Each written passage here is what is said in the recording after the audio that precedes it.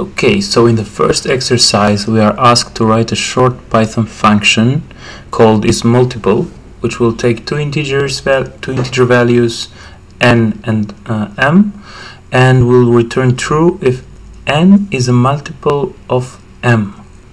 Okay, perfect. So to do that uh, we're going to use the modulo operator in Python. First let's define the function so n, and I'm going to also use type hints. n is going to be an integer and also m an integer and we want to return a boolean. Okay, so we want to check if uh, n is multiple of m. To do that, we can use the modulo operator, which is the percentage sign. What this operation will return is the remainder after dividing n by m. And if the remainder is 0 that would mean that n is a multiple of m. So pretty easily we can say return remainder equals equal equals 0 okay? So that should actually do it. And to test it I'm going to run the script um, yeah to chapter 01 so I'm going to run the script interactively using the, uh, python dash e and the name of the script. And I can call is multiple. We can try with something that we know is false for 3 okay so this is false and if we do for 2 is true. And 10 to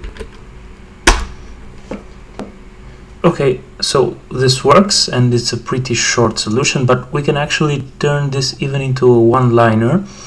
We don't need to perform this check. We can, uh, because in Python, um, you can when you convert a value into a boolean, zero will be false.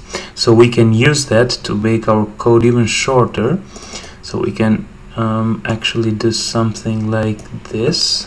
First, I'm going to exit so instead of returning here I would do something like return not. So if n modulo m is 0 which evaluates to false but for us it um, in this this is the case where uh, the function should return true because in fact well n modulo m will be 0 which evaluates to false but um, for our case that is the, the case where true should be returned by the is multiple function uh, which would mean that n is a multiple of m. That's why I'm using uh, the negation here with not. So we can try it again. And is multiple for 2 is true. And if we do 5 2 is false I think that's it for the first exercise. Um, make sure to subscribe because I will solve all the exercises in the data structures and algorithms in Python book. See you in the next one